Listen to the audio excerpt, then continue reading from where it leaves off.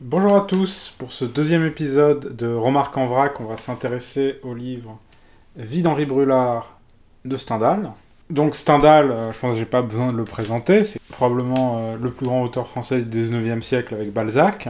Il est notamment connu pour euh, deux livres, Le Rouge et Noir publié en 1930 et La Chartreuse de Parme publié en 1936. Ce sont les deux œuvres qu'il a publiées, enfin les deux romans qu'il a publiés de son vivant.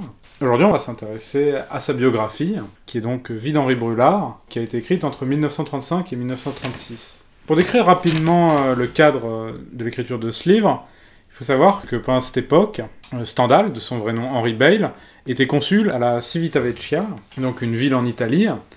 Et il faut être honnête, il s'ennuie sévère. Et notamment, euh, la principale raison pour écrire ce livre, c'est justement son ennui. L'ennui glace l'esprit, je ne puis me dissimuler que la totale privation du commerce des idées ne m'ait jeté dans cette mauvaise disposition de 1932 à 1936. Écrire ce qui suit était une consolation.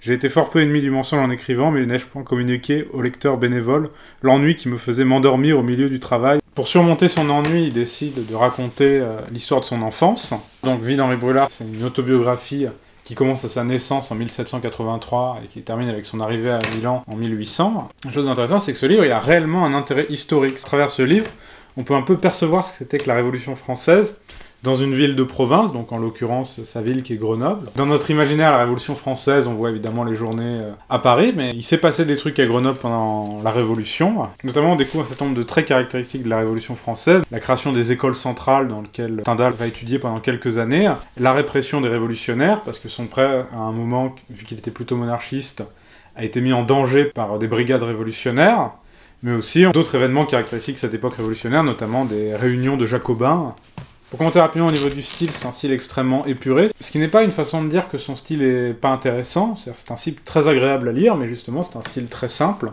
Le style propre aux romantiques de l'époque, comme Chateaubriand, c'est plutôt un style qu'il aborde. Il y a un passage dans le livre qui est mention de ça. C'est ainsi que, tant d'années après, les phrases nombreuses et prétentieuses de Monsieur Chateaubriand et Salvandi m'ont fait écrire le rouge et le noir d'un style trop haché.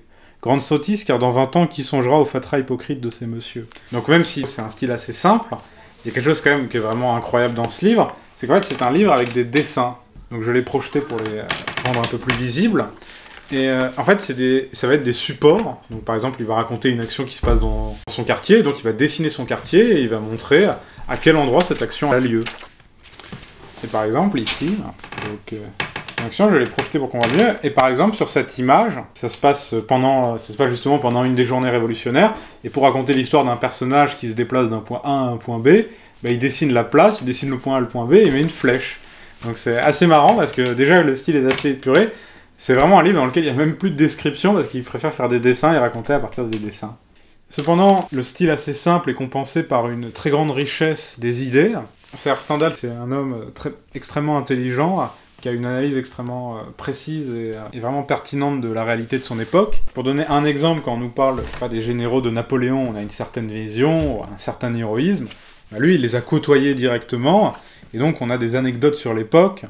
La postérité ne saura jamais la grossièreté et la bêtise de ces gens-là hors du champ de bataille. Non, la postérité ne saura jamais quelle plage en sucre ont été ces héros des bulletins de Napoléon, et comme je riais en recevant le moniteur à Vienne, Dresde, Berlin, Moscou, que personne presque ne recevait à l'armée afin qu'on ne puisse pas se moquer des mensonges. Et dans ce livre, on découvre un peu comment il a formé ses idées et ses concepts qui lui permettent de décrire son monde. Par exemple, un concept qu'il développe dans plusieurs œuvres, c'est celui de la cristallisation, qui est un peu une idéalisation de l'être aimé. Et euh, donc il décrit une relation dans laquelle il a commencé à voir apparaître euh, ce type d'idéalisation. Et c'est ce qu'il dit, c'est Bien des années après, j'ai vu le mécanisme de ce qui se passait alors dans mon cœur, et faute d'un meilleur mot, je l'ai appelé cristallisation. Donc comme ça, il décrit un peu l'origine de euh, tous les concepts standaliens. Mais je pense quand même que le principal avantage de ce livre, c'est qu'il permet réellement d'entretenir une relation personnel avec Stendhal. Par cette histoire, on découvre vraiment euh, l'homme Stendhal, sa vision du monde très clairement exprimée, et le pourquoi de cette vision du monde. Pourquoi il a choisi de construire ses personnages comme ça et pas autrement. À un moment, il écrit un homme qu'il a rencontré euh, à Paris, il n'hésite pas à dire de cet homme, dont j'ai fait Valno dans le rouge, dans le rouge et le noir. Et d'un point de vue purement personnel, il y a cette très belle citation il rapporte une pensée qu'il a eue lors de son voyage à Paris, qui en fait a été une assez grande déception, parce que depuis Grenoble, il ne rêvait qu'à Paris, et finalement, il est assez déçu. C'était la contrainte morale qui me tuait. Ce n'était pas le sentiment de l'injustice et de la haine contre ma tante Séraphine, comme à Grenoble. Plus à Dieu que j'en eusse été quitte pour ce genre de malheur. C'était bien pire, c'était le sentiment continu des choses que je voulais faire et auxquelles je ne pouvais atteindre.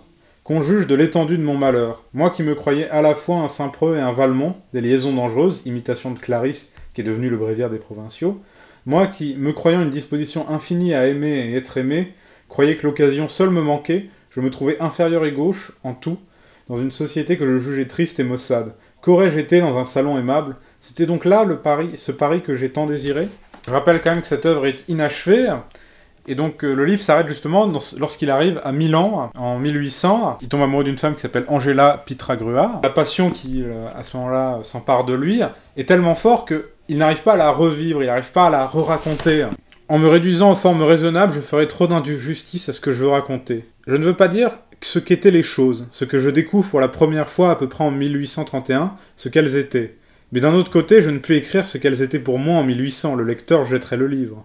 Quel parti prendre? Comment peindre le bonheur fou? On gâte des sentiments si tendres à les raconter en détail. Et le livre s'arrête là.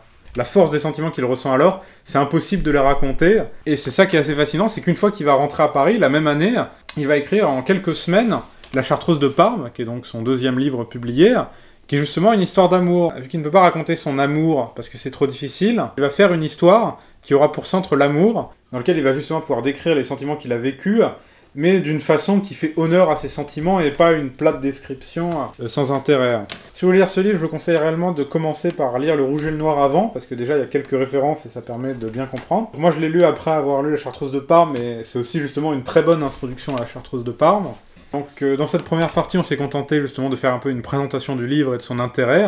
Dans des parties suivantes, on étudiera plutôt des aspects en particulier comme euh, sa critique de la religion ou l'importance des classes dans le livre.